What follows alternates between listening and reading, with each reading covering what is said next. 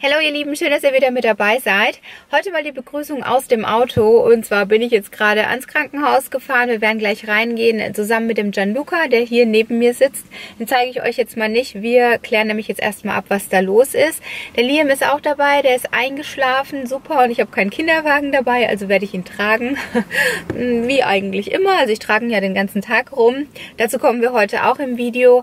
Mein Mann, der ist mit dem Alessandro heute Morgen zu einem Tischtennisturnier Turnier gefahren, 300 Kilometer entfernt. Um halb sechs sind sie los. Ich wollte eigentlich mitfahren, aber das wäre für den Liam definitiv ein wenig zu viel geworden, denn gestern war ja Liams Taufe.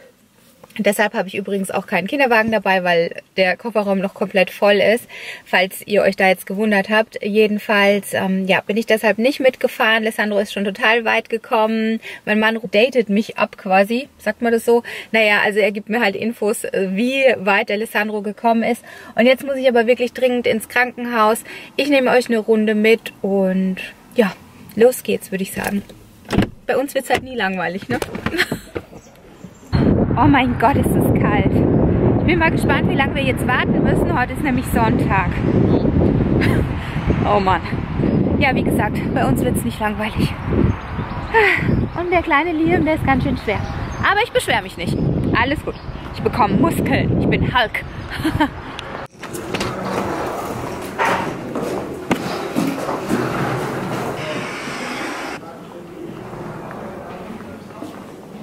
Wir sind wieder zu Hause. Ich musste Gott sei Dank nicht so lange mit Gianluca ähm, warten im Krankenhaus. Aber er hat uns jetzt dazu geraten, dass äh, er morgen nicht mit ins Schullandheim fährt. Leute, was ist los? Gesundheit, Gesundheit, Alter. Ja, ähm, ich erkläre euch dann, was er gesagt hat, beziehungsweise was er denkt, was er hat. Also ganz komisch war der irgendwie. Sorry, wenn ich das jetzt mal so sage. Der war auch total grob. Und ja, konnte mir jetzt gar nicht zu 100% sagen, was er hat. Ich koche jetzt erstmal, also ich ziehe mich um, koche und dann hole ich euch am besten nochmal dazu. Ich werde morgen natürlich definitiv nochmal zum Hausarzt gehen mit Gianluca und dann, ja, werden wir sehen, was äh, die sagt. Das ist eine Frau. Hier ist übrigens noch ein bisschen was von der Taufe, also das heißt ein bisschen. Ich habe das jetzt mal hochgetragen, damit mein Kofferraum ähm, wieder Platz hat für den Kinderwagen. Der Liam, der ist unter seinem Spielbogen, das ist total süß. Greift jetzt schon danach. Ich hatte die Spielfiguren etwas höher gesetzt und jetzt habe ich sie ein bisschen mehr nach unten und das ist so süß. Ich zeige es euch gleich mal.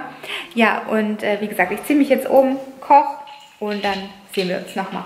Aber jetzt zeige ich euch erstmal noch den Liam, wie er spielt. das ist so süß. Süß, ne? Schafft's schon. Schafft er schon.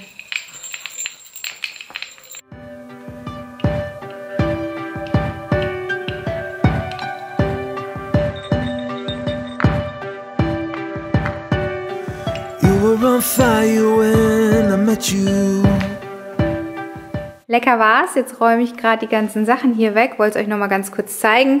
Das Band hier, das kennt ihr bestimmt noch von Liams Baby Party. Das habe ich einfach nur so eingerollt. Die Vasen, die hatte ich auch noch von Liams Baby Party, so, so wie auch diese hier. Und ich habe die Blumen in einem Blumenladen so anfertigen lassen. Ich liebe Ranunkeln, das wisst ihr bestimmt. Die waren leider gar nicht so günstig. Ähm, es gibt nämlich jetzt leider gar keine Ranunkeln mehr. Das waren so mit die letzten. Und da war ich auch ganz froh, dass ich noch welche ergattern konnte. Also so sah das aus. Dann hatte ich noch das. Und die hier, die hatte ich ja auch selbst gebastelt. Die kennt ihr bestimmt auch noch von Liams Baby Party. Vier Stück habe ich davon und ich fand die auch ganz passend jetzt eben für die Taufe. Und wie gesagt, das Ganze verräume ich jetzt einfach mal hier auch noch mein Kleid. Hier ist noch der Anzug von meinem Mann. Also hier gibt es gerade noch einiges zu tun und dann hole ich euch nochmal dazu. Und der Bobby meldet sich auch gerade. Der hat sich nämlich verheddert. Jawohl, und da hängt das Hemd von meinem Mann. Ja, Bobby ist gut. Ach, Bonnie. Der Max hat einen Plan. Keine Ahnung welchen. Meine Wäsche hat er auch hier reingebracht. Na toll. Hallo, hallo ihr Lieben, neuer Tag, neues Glück. Ich habe mich jetzt gestern gar nicht mehr bei euch gemeldet, sorry dafür, aber es war da noch einiges los. Mein Mann ist zurückgekommen vom Turnier zusammen mit Alessandro, die hatten mir einiges zu erzählen. Es war ja ultra weit weg, also 600 Kilometer sind sie gefahren Was dabei rausgekommen ist, erzähle ich euch gleich. Jedenfalls war ich jetzt heute Morgen zusammen mit dem Gianluca bei unserer Hausärztin, gestern bei dem... Äh, Arzt, also im Krankenhaus, war das alles irgendwie ganz komisch. Der wusste selbst nicht, was der Gianluca hat. Dann hat er immer zu mir gesagt, ja, wissen Sie, wie ich meine? Dabei wusste er selbst nicht, was er meint. Also das war ein bisschen komisch. Deshalb habe ich es heute Morgen nochmal abchecken lassen. Heute wäre der Gianluca ja eigentlich ins Schullandheim gefahren, aber das haben wir jetzt abgesagt, weil es eben ansteckend ist, was er hat und das möchte ich natürlich nicht. Außerdem fühlt er sich nicht gut. Was aber super schade ist, dass er nicht mitgefahren ist nach München, weil er sich halt schon super doll drauf gefreut hat, also das ganze Jahr über. Ne, wie das halt so ist bei Kindern, es ist halt eine neue Erfahrung und ich hätte es ihm wirklich von Herzen gegönnt. Er ist auch echt enttäuscht. Äh, alle Kinder snappen im Moment und schicken ihm Bilder und wenn er das natürlich sieht, ist er halt traurig, aber man kann es jetzt nicht ändern. Also es ist halt ultra wichtig, dass er sich jetzt ausruht, dass er wieder gesund wird und sich kuriert. Ich werde ihm jetzt auch gleich noch einen Tee machen. Muss noch bei der Krankenkasse anrufen, weil ich ähm, fragen möchte, ob das jetzt versicherungstechnisch dann so läuft, dass ich das Geld zurückbekomme für dieses Schullandheim. Ich weiß es nicht. Also Reiserücktritt hatten wir jetzt in dem Sinn ja nicht abgeschlossen. Also ich muss mal gucken, weil das jetzt auch nicht gerade günstig war. Und äh, ja, also so viel erstmal äh, dazu. Dann schläft jetzt der kleine Schatz hier in der Federwippe, also der Liam. Ich äh, nutze jetzt noch die Zeit und verräume einiges. Muss ich noch äh, zu der Konditorin, die uns den Kuchen gebacken hat, für Liams Taufe. Da ist eben noch der Teller, den bringe ich ihr vorbei. Ich zahle noch meine Rechnung. Dann habe ich da noch einen Boxbeutel stehen und äh, noch einen Umschlag für die Kirche. Der Boxbeutel geht an den Diakon, der sich wirklich unglaublich viel Mühe gegeben hat. Der war so, so lieb, auch beim Taufgespräch. Zwei Stunden war er hier und wir haben alles besprochen. Die Messe war so, so schön. Also das hat er ganz, ganz toll gemacht und deshalb habe ich eine Kleinigkeit vorbereitet und zu äh, Lissandros Turnier. Also ich bin super, super stolz, wie jede Mama natürlich, auf ihre Kinder, gar keine Frage. Er hat sich wirklich so, so toll geschlagen und war so tapfer. Mein Mann, der hat mir immer Bilder geschickt. Das war halt total blöd, dass ich nicht dabei sein konnte. Aber ich habe es euch gesagt, wir sind ja morgens um halb sechs schon losgefahren. Und das wäre definitiv zu viel geworden für den Liam. Und der Alessandro, und jetzt Achtung, hat sich qualifiziert. Und zwar ist er in ganz Bayern acht Beste in ganz Bayern, was Tischtennis betrifft. Und äh, ihr merkt schon, ich bin schon wieder total aufgeregt. Ja, es tut mir auch echt voll leid, aber jede, jede Mama kann es definitiv verstehen. Hier sind die beiden letzten Pokale. Das eine äh, Turnier hatte ich euch auch erzählt, da hat er sich ja qualifiziert für das Turnier, äh, zu dem sie eben gestern gefahren sind. Ne? Deshalb konnte er da teilnehmen. Und ich sage es immer wieder zu meinen Kindern, der Fleiß zahlt sich aus, ne? wenn man eben dran bleibt und übt. Übung macht den Meister, ne? Und dann kommt man eben auch weiter und da bin ich eben ganz, ganz stolz. Ja, ansonsten mache ich jetzt hier mal weiter und hole euch später nochmal dazu. Ich muss noch äh, zu DM Bilder ausdrucken und zwar für Gianlucas Jahresprojekt. Also da hat er sich einiges äh, vorgenommen. Deshalb steht hier auch das Paketchen und zwar sind Rollen angekommen. Die braucht er für sein Jahresprojekt. Also die Garage ist komplett belagert. Das sieht echt aus, da passt auch kein Auto rein, weil das Chaos ausgebrochen ist. Wer mir auf Instagram folgt, hat es auch schon mitbekommen, aber ich habe es noch nicht verraten, was das Jahresprojekt ähm, ist. Aber er fühlt sich jetzt heute nicht so gut dass er da weitermacht. Also er hat da noch wirklich noch einiges zu tun. Aber ich muss zu DM und ein paar Bilder ausdrucken, weil er dazu auch eine Mappe machen muss. Beim jeweiligen Arbeitsschritt habe ich ihn fotografiert und das äh, werden wir dann noch einkleben und eine schöne Mappe machen. Also ich bin gespannt, äh, wie äh, da die Benotung dann aussehen wird. Also das ist wirklich der Wahnsinn. Der Max ist ja sein Mentor. Der ist da auch voll mit dabei. Ich kann euch mal den Plan zeigen, den der Max gemacht hat. Und zwar, ja, eine grobe Skizze. Ich weiß jetzt gar nicht, ob ihr das erkennen könnt. Ja, das ist die Skizze, die dafür vorbereitet wurde. Und ähm, ja, wie gesagt, dafür muss ich jetzt noch zu DM und erledige das für den Gianluca, weil der sich jetzt noch so ein bisschen ausruht und den Tee noch von mir bekommt. Und ja, ganz schön viel gequatscht jetzt, ne? sorry dafür, aber jetzt seid ihr wieder auf dem neuesten Stand. Jetzt habe ich euch, glaube ich, gar nicht gesagt, was der Gianluca hat, oder? Also, er hatte hier am Kinn eine ganz, ganz große Entzündung. Und am Wochenende meinte meine Schwester eben zu mir, es sei Herpes. Man soll da aufpassen, das ist sehr ansteckend und halt gefährlich, ne? Dass man das überträgt und dass es schmerzhaft ist, gerade für den äh, Liam. Und das wird immer größer. Ich selbst hatte noch nie Herpes, ich kenne das nur am Mund. Ähm, zwei meiner Kinder hatten das auch schon öfter. Mein Mann bekommt auch öfters mal Herpes, aber wie gesagt, toi toi toi, klopf mal auf Holz. Ich hatte das noch nie. Aber dadurch, dass es dann so schlimm wurde und ich dann eben auch dachte, okay, wenn das ansteckend ist, kann er auf gar keinen Fall mit in Schullandheim. Zumal das auch ja wirklich großflächig ist und wir wissen ja alle, wie Kinder untereinander sind. Ne? Die hänseln sich dann, das wollte ich natürlich auch nicht.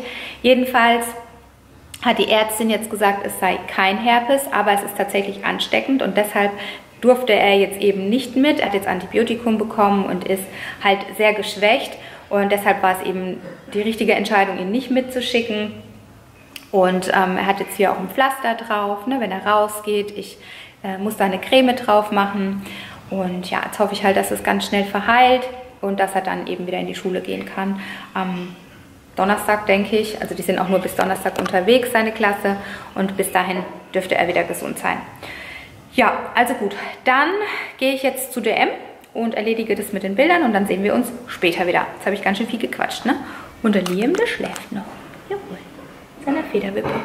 Also erledige ich jetzt hier noch ein bisschen was und dann gehe ich los. Ne? Ich möchte nämlich jetzt nicht rausreißen aus der Federwippe. Also, wir sehen uns später. See you later, Alligator. Bis dann.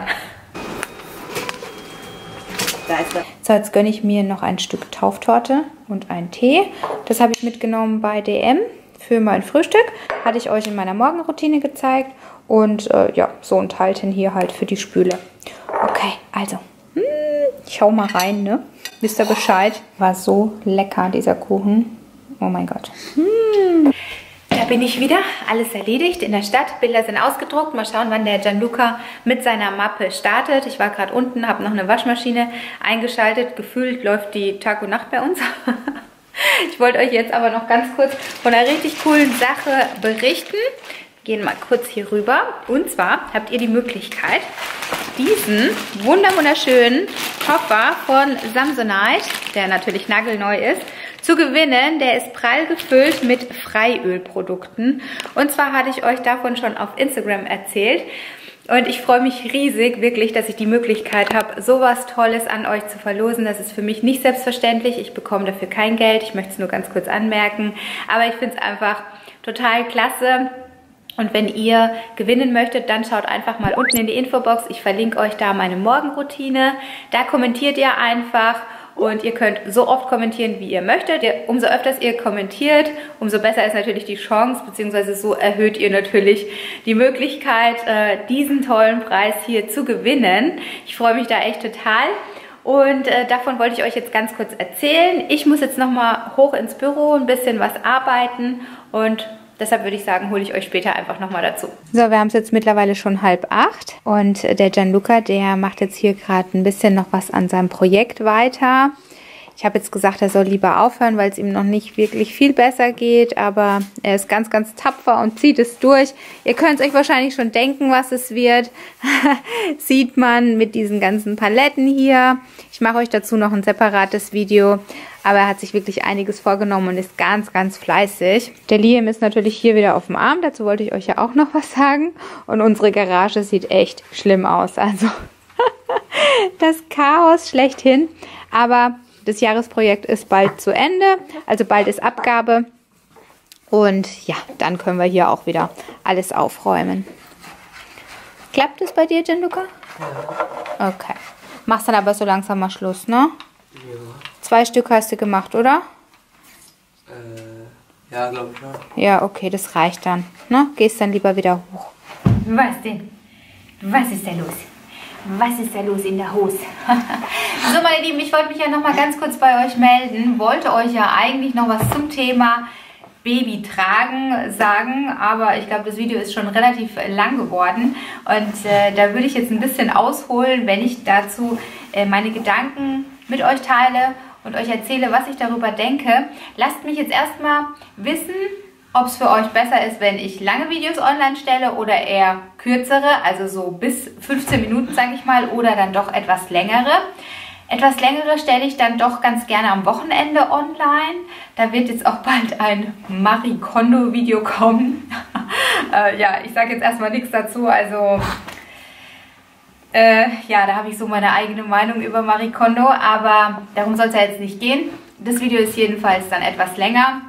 Und das werde ich dann wahrscheinlich am Samstag oder am Sonntag online stellen. Hinterlasst mir da sehr, sehr gerne euer Feedback, weil ihr ja die Zuschauer seid und mir das dann schon weiterhilft, wenn ihr mir sagt, was euch lieber ist.